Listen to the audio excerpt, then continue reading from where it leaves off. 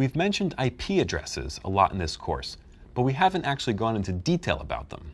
There are actually different versions of IP addresses. The current protocol, Internet Protocol version 4, or IPv4, is an address that consists of 32 bits separated into four groups. Remember, 42 bits is 4 bytes, and 1 byte can be stored up to 256 values from 0 to 255. So IPv4 addresses can be something like 73.55.242.3. Even though it might seem like a lot of possible IPv4 addresses, there are less than 4.3 billion IPv4 addresses. There are way more than 4.3 billion websites out on the web today.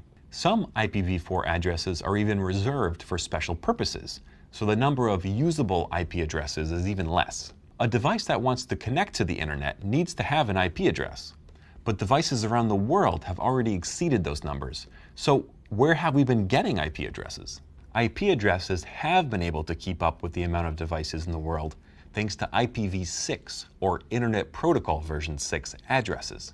IPv6 addresses consist of 128 bits, four times the amount that IPv4 uses, which means way more devices can have IP addresses. The adoption of IPv6 addresses has been slow but steady, Eventually, you'll start seeing more and more IPv6 addresses in the wild. An example IPv4 address can be something like 172.14.24.1, but an IPv6 address can be something like what you see here. Quite a bit of a difference, don't you think?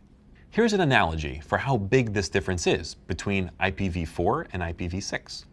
With IPv6, there are 2 to the 128th power possible IP addresses. 2 to the 128th power is an insanely huge number. So huge that scientists had trouble describing with words just how big this number is. So here's an analogy. Think of a grain of sand. If you scoop up a handful, do you know how many grains you have in your hand? Probably a lot, but that's not even close to the number we're talking about. Now, take all the grains of sand in the entire world, assuming there are roughly seven and a half times 10 to the 18th power grains of sand in the world, that still wouldn't be enough IPv6 addresses.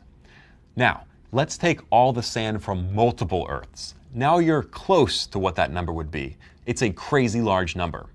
Just know that we won't be running out of IPv6 addresses anytime soon. Another mitigation tool that we've been able to use is NAT, or Network Address Translation.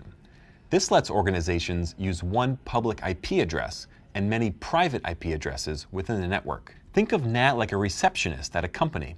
You know what number to dial to get to the company, and once you reach the receptionist, he can transfer your call to one of the private numbers inside the company. Now, instead of companies using hundreds of public IP addresses, they can just use one IP address.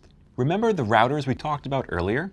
One task you might need to perform when you're an IT support specialist is to configure NAT on a router to facilitate communication between your company's network and the outside world. There are lots of other limitations that we've had to deal with.